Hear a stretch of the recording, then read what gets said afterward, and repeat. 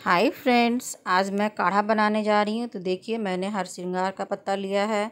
इसमें रामदेव बाबा का दिव्य पेय है तेज़पत्ता है। इसके बाद कुटा हुआ इसमें हल्दी वगैरह है और गरम मसाला है। फिर मैंने पानी को गर्म किया है और उसके बाद मैं तुलसी पत्ता डालूँगी क्योंकि मेरे घर में सबको फीवर हो गया है और गला भी है, सर्दी खांसी भी ख़राब है। तो इसीलिए मैं काढ़ा बना रही हूँ, आदि वगैरह डालकर और रामदेव बाबा का पेय डालकर इससे काढ़ा बहुत ही अच्छा बनता है और बहुत जल्दी ही आराम मिलता है।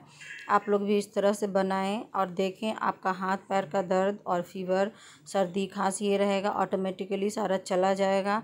मैंने हल्दी में ही बहुत सारा चीज़ कूट कर गर्म मसाला डाल के रखा है, उसी को मैंने डाला है। टेस्ट के लिए थोड़ा सा गुड़ डाली हूँ उसके बाद मैं इसमें लेमन डालूँगी। बहुत ही अच्छा काढ़ा बनकर तैयार हुआ है। तो दोस्तों, अभी फिर से सीज़न ख़राब हो रहा है। लोगों को सर्दी, खांसी, फीवर, थकावट लग रहा है।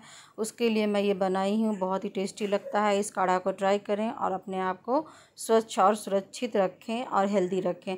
तो बाय बाय मेरे चैनल